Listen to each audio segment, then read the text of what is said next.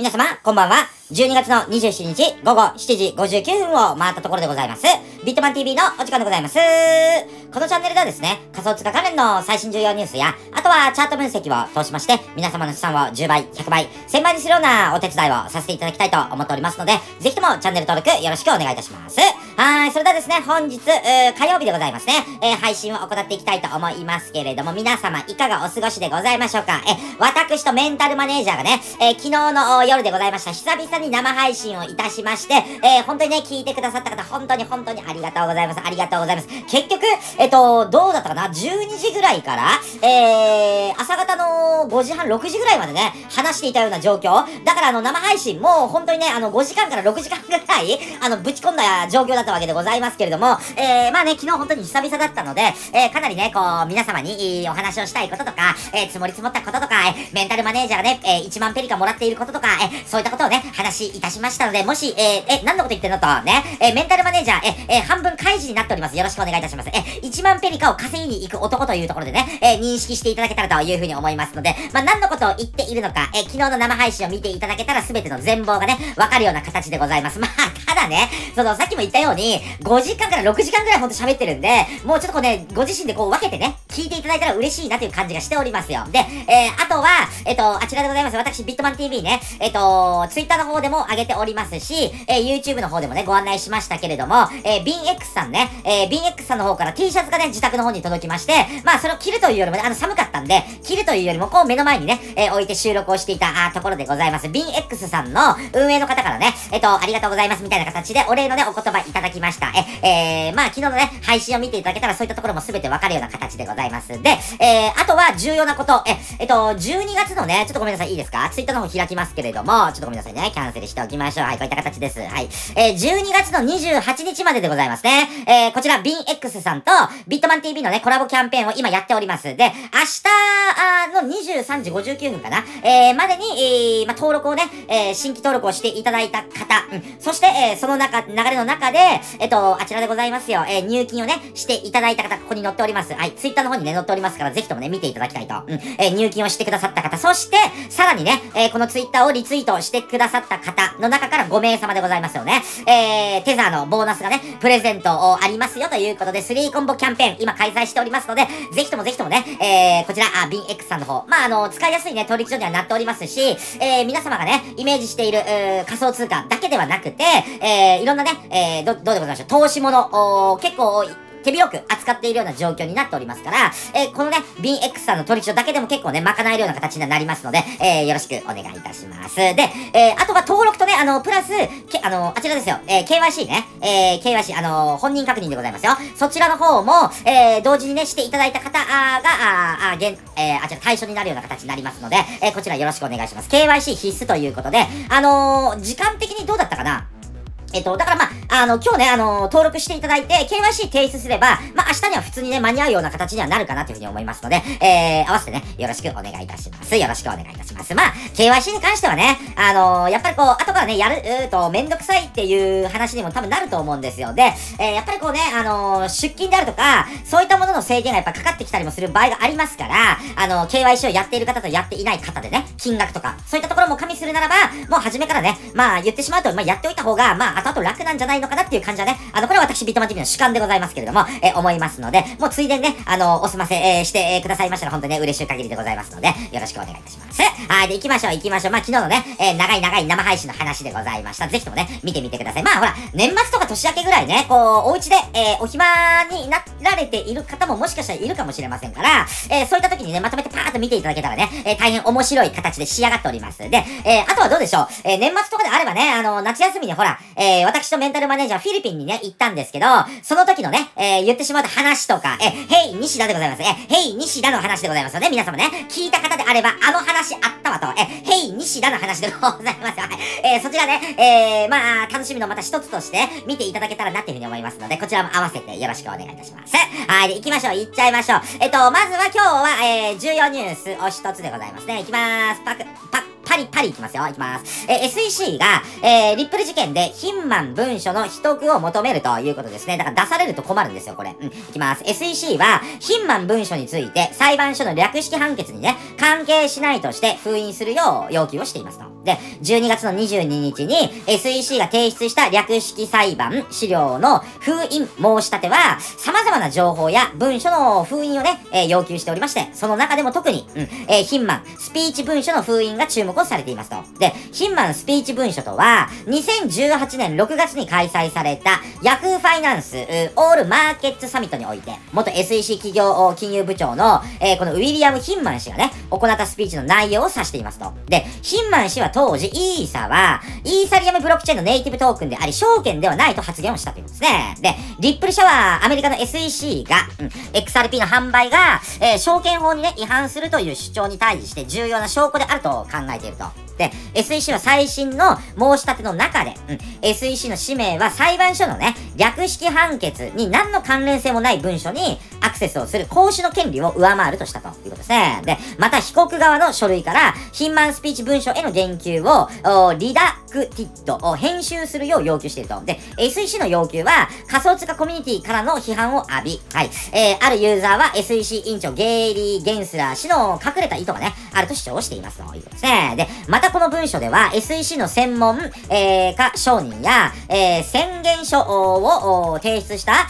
えー、あ、せ、せ、誓約書ですか？えー、宣約書、はい。を提出した XRP 投資家に関連する情報、うん。SEC 関係者の議論や審議を反映した SEC 内部、文書の封印をね、要求していますと。で、えー、上から下に、リップル社は、えー、12月2日に SEC に対して、えー、最終提出書類をね、提出して、えー、おり、2年に及ぶ、えー、法廷、えー、闘争がね、間もなく終焉を迎える可能性があるということで、まあ、このね、貧満文書というものは、まあ、出されるとね、えー、おそらく SEC 側にとってはかなり不利なね、内容になっているんじゃないかなと。だからこれが、あ出ると、ちょっとこうね、えー、負ける方向に突き進んでいくんじゃないかというふうに、やっぱり言われておりますよね。まあ、どうなっていくことやらと。ただまあね、えー、当然、えー、まあ、業界の方々、まあ、ですよね。仮想通貨業界にいらっしゃる方々、ほぼ全ての方がやっぱり、この SEC とのリ、SEC とリップルの関係性ね、ここには間違いなく注目しているところなんじゃないかな、というふうに思いますので、まあ、私も注目しておりますし、皆さんもね、えー、一応気にはね、かけておいてください。よろしくお願いいたします。はい。で、えー、来年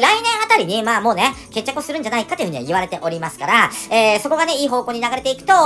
XRP、まあ、リップルのね、価格、跳ね上げにやっぱり当然繋がってね、来るような状況になると思いますので、まあそこはあの、リップルをね、保有している方は楽しみでございましょう。よろしくお願いいたします。はい。それでは本日の重要ニュースは以上となります。えー、そして、えー、今日のチャート分析なんでございますけれども、えー、ちょっとね、通過数、あの、実はね、まだね、ごめんなさい。私ね、車の中なんですよ。あの、仕事がね、あの、昨日も言ってたと思うんですけど、えっ、と、年末にかけてね、結構仕事が忙しくて、ただこうね、短い時間だけでも、えー、やっぱり皆様とね、えー、まあ、仮想通貨を介して、やっぱりこう、触れ合っていきたいなというふうに思いましたから、えー、ちょっと短めにいきます。ですから、通過数も、ちょっとこう、どうでしょう、2、3通過ぐらいね、えー、扱っていこうかなというふうに思います。ちょっとこうね、えー、合間で撮っておりますから、一旦ちょっとこう、戻って、えー、もう一回ね、時飛ばしをしてから、あー、あ、収録にね、取り掛かりますので、一旦、一旦、時飛ばし。はい。それでは、再開していきたいと思います。で、チャート分析なんですけれども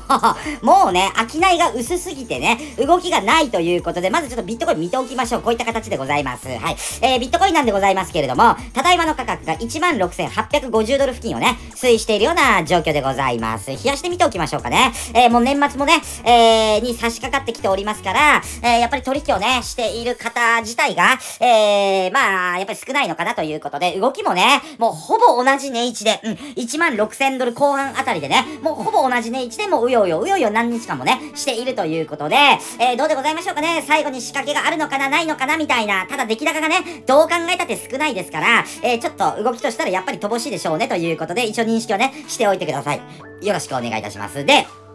こういった形。えー、まずはね、えー、ローソク足がね、えー、50週の中期の移動平均線上に乗っかっている。まあ、それはね、え、見ていただいたらわかるかなというふうに思いますけれども、一旦ね、聞いていた右上がりのサポートライン、ここをね、え、割れ込んだ状況で今ね、話が進んでいると、え、いうところでございますね。右上がりの短い黒いラインでございますよ。この黒いラインでございますね。ですから、え、ちょっと4時間足で見ておきましょう。こういった形。で、え、一旦ね、下に抜けたんですけれども、4時間の雲の形がなんとかね、支えになって今、あ持ちこたえているような状況。ですから、え、これをね、割れ込んだ状況、割れ込んでしまうと、つまり16,700ドルあたりを、え、試しに来て割れ込んでしまいますと、えー、どうでしょう？直近安値のね、16,300ドル付近。うん。ここを割れ込んでしまうと、おやっぱり、年初来安値の15,600ドルっていうところがやっぱり視野にね、入ってくるような状況になりますので、ここは注意をしておいてください。よろしくお願いいたします。で、えー、ロングで、ロングでね、入っていきたいなっていうふうに思う方は、えー、まあ、時間的な推移を見ていくと、おやっぱりこのね、4時間の雲を抜けていってから、えー、入っていくのがいいかな。ただし、だから17,000ドルを超えた状況で入っていくのがまあいいかなと。そうすれば4時間の雲も上にブレイクしたような状況で話が進みますし、このね、えー、短期的に聞いていたサポートライン上にももう一回乗っかってきて、ちょっと短期的には元気要素が出てくる可能性があると。ただし、えー、上に関して言うと、もう見ていただいたらわかるように、冷やしのこの分厚い雲がね、もう存在しております。それを加味するならば、えー、上昇といってもね、結構限定的なのかなというところ。うん。えー、17,400から、まあ、17,500ドルあたりで、やっぱりこう、頭をね、押さえつけられていく可能性がある。これを抜けていけばね、これを抜けていけば、えー、次は、うん、えー、また前回聞いていた右上がりのサポートラインの裏タッチ、はい、えー、17,800から900ドル付近。そして、そこを抜けてようやくね、えー、まあ、おそらく最も硬いであろう、18,300から400ドル付近へのチャレンジにま入ってこれると、えー、いうことなんですけれども、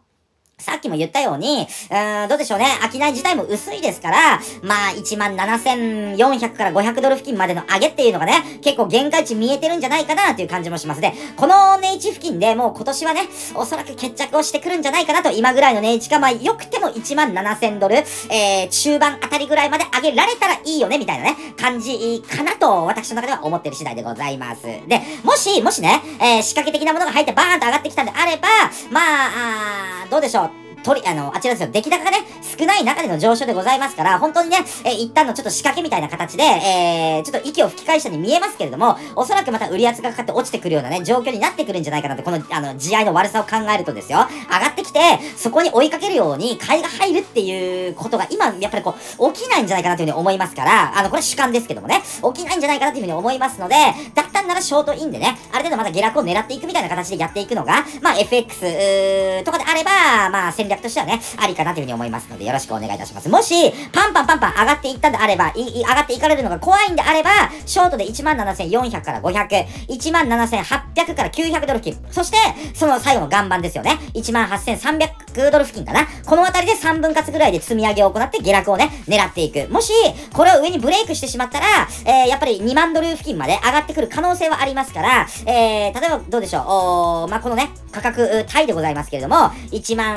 18,500から600ドル付近を抜けていったらね、もうちょっと損切りをしていかないと、さっきも言ったように2万ドルぐらいまでね、上がってくる可能性がありますから、損切りラインは18,600から700ドル付近で押さえておくのがいいかなというふうには思っておる次第でございます。よろしくお願いいたします。まあね、何遍も言っているんですけれども、うん、今年はもうこのあたりの金額帯で収まりがつくような感じもします。で、どうでしょうね、小幅で動いていくからね、あの、行くからですよ。うん、あの、ちょっとロット高めにしてね、まあ言っちゃうとほら、レンジ的なものを作り上げているような感覚にもなっていますから、ちょっっとロットをちょっと強気で上げて、まあ小幅を取っていくっていう戦略でもいいんですけど、あまり欲張りすぎるとね、ちょっと変な、あー動きに巻き込まれる可能性もありますから、それをやる方はね、あのー、本当に注意をね、しておきましょうということでよろしくお願いいたします。え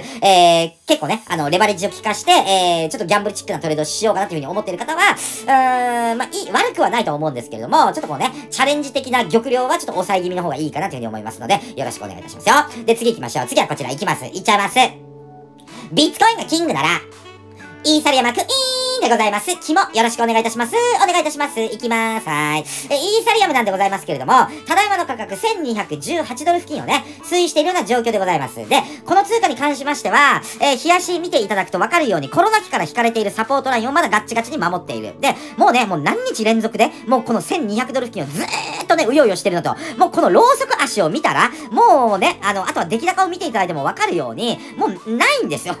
あの、もっと、あの、あき、本当に商いが。うん。えー、だからもうもうこれを見た限りではね、もう、あのー、今、うん、それどころじゃないと、人々は。うん、もう年末に差し掛かってるから仮想通貨どころじゃねえみたいなね、ことにもなってるのかなというところがございます。ですから、イーサリアムも動きがね、やっぱり乏しいかなというふうに思います。で、ビットコインと同じように何かしらの仕掛けが入ってきたとしても、やっぱり冷やしの雲の下端地付近が、重要な1280ドル付近と被ってるんで、このあたりはね、やっぱりこう、売り仕掛けが入りやすくて、うん、逆に言うと下落を狙いやすいところ、うん、戻りでの売り仕掛け、えー、かけやすいところかなというふうに思いますので、えー、もしね、トレードしようかなっていうふうに思う方は、上に上がってきた時のショート、うん、1280ドル付近でのショート、もしくは下に落ちてきた時の、えー、まあ、このね、下の髭を伸ばしておりますけれども、ある程度、ちょっと下髭の方が長い感じが、えー、いたしますので、えー、このね、えー、右上がりのコロナ期から引かれているサポートラインを押し目買いラインとして、ある程度買いをね、えー、ちょっとずつ入れている方もいるのかなという感じ。そこを加味するならば、1100、どうでしょう、90ドルぐらいかな。で、ちょっとこう差し値を置いて反発狙い。もう、反発狙いでも、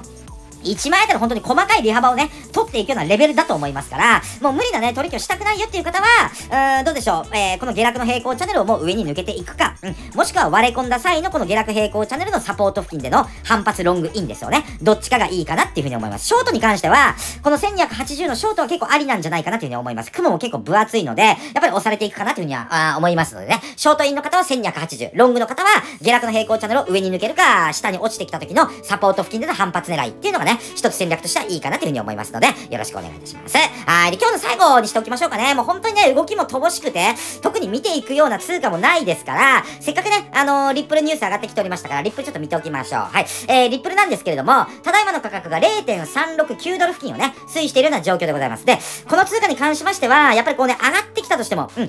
えー、一応ね、三角持ち合いを、えー、上に抜けていってから成立していったので、まあ、これ消しておきましょう。で、えー、重要なね、価格帯。はい。こここやっぱりサポートとしてかなり機能しているところがわかると思います。0.375ドル付近ですよね。このあ赤いラインでございますよ。このラインがやっぱりこうちょっと頭となって抑えられているような状況になっておりますから。で、あとは、このね、えー、赤いラインの直上にやっぱり冷やしレベルで移動平均線も、えー、2本、中期と長期が存在してますし、雲も上にズーンと覆いかぶさってますから、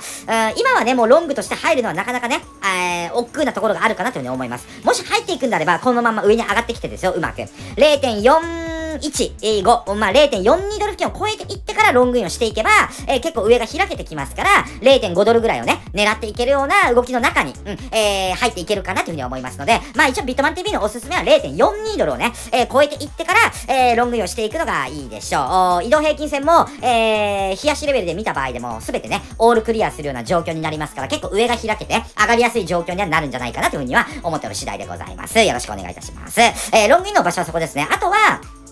実際この0.376ドル付近ね、4時間の長期赤いラインも被ってますし、さっき見た冷やしもね、えー、こういった形で、えー、中期の移動平均であるとか、あとは長期もある程度ね、えー、ここにズーンと存在してますし、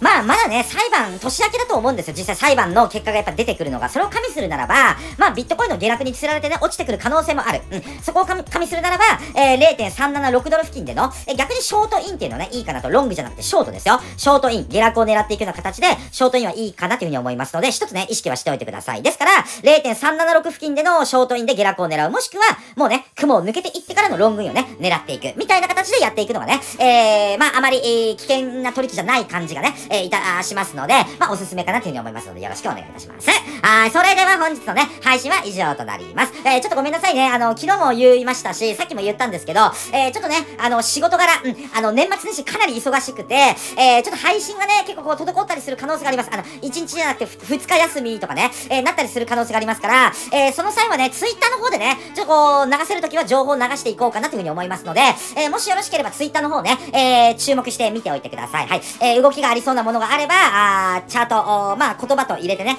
チャート、スクショして、えー、ツイッターの方で流していきます。えー、収録できるときは普通にね、えー、今日みたいな感じでしていきますので、よろしくお願いいたします。はい、それでは皆様、あもう年末もね、えー、近い、もう年もね、えー、もうすぐ明けるということで、最後の最後ね、バリバリバリバリね、頑張っていきましょう。よろしくお願いいたします。はい、それでは次の配信でお会いしましょう。では、